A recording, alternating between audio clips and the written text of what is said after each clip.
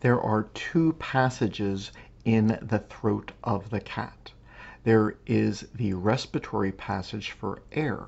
Food will go from the oropharynx to the laryngopharynx to the larynx, which is composed of a number of cartilages, into the trachea to the lungs.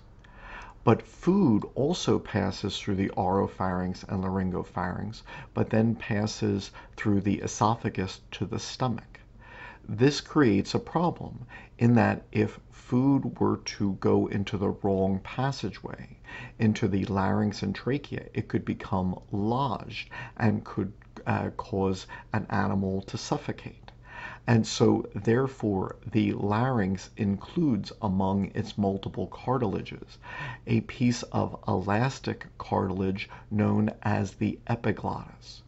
When we swallow, or when a cat swallows, part of the swallowing reflex is that the epiglottis, because it is composed of elastic cartilage, will close over the opening to the larynx known as the glottis.